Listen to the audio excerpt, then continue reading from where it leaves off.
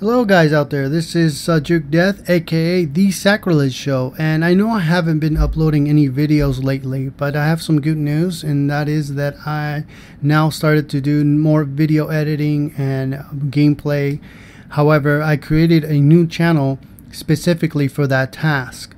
Um, it's called The Sacrilege Show, and if you type that in, you're going to find out that um, it's my new channel, and I will be uploading everything game related from Diablo 3, Battlefield 3, Skyrim, and so on.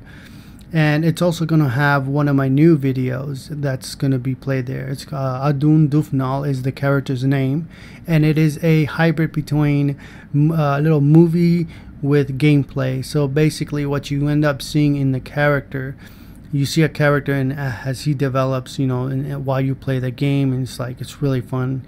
It, it's really fun to do. So it's something I, I, I don't see very often.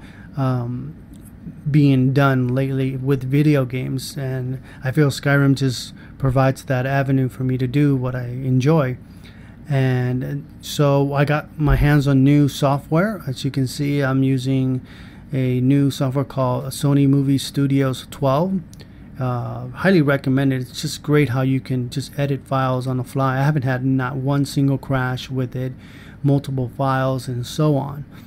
Um, for recording now, I use instead of Fraps, which was you know very uh, CPU intensive. I now upgraded to a Gamer HD for my PC, and it's uh, you get 60 frames per second. You you really don't even realize that you're actually recording, which is a plus.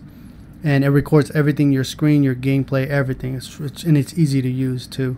And for my my audio, I'm actually now using something called the Blue Nessie. It is a mic and it USB mic actually, and it works perfectly for what I'm doing it right now. And it's you know costs about around hundred bucks or so.